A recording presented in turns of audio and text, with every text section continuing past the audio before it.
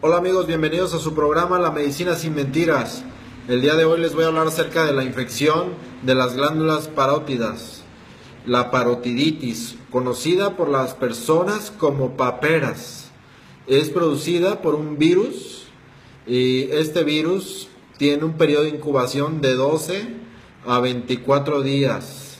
Eh, es un virus ARN y bueno, es de la familia de los Paramyxoviridae. Y este virus eh, te puede infectar y, y dura de 12 a 24 días para que te comience a dar sintomatología. ¿Sale?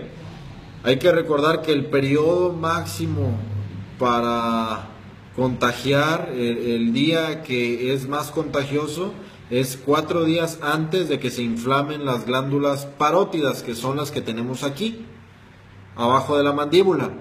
¿Sale? Entonces, este, antes de que se diagnostiquen las paperas, cuatro días antes es el periodo en el que hay más probabilidades de contagiar a otros. Es decir, la persona está contagiando a otras personas y la persona no sabe que tiene eh, esta infección, ¿no? De la parotiditis.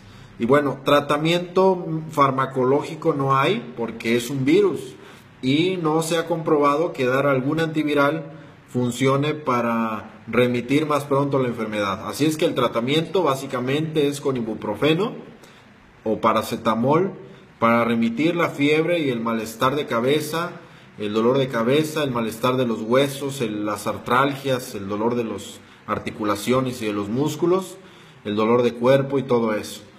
Y bueno, aparte yo les recomiendo que utilicen las vitaminas, un polivitamínico, que utilicen la vitamina C y que utilicen también el aloe, ¿sale? La sábila. Es muy bueno que utilicen esto, funciona mucho para estas enfermedades. La parotiditis se puede prevenir gracias a la vacunación, gracias a la vacuna triple, triple viral. Eh, y bueno, ya casi no hay ya no casi no hay esta enfermedad gracias a la vacunación, ¿no?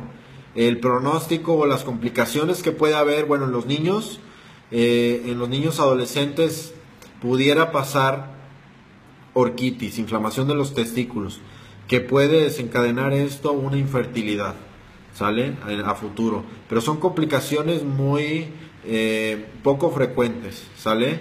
Inflamación del, del cerebro ¿Puede llegar a ser mortal? Sí, pero en casos muy, muy raros.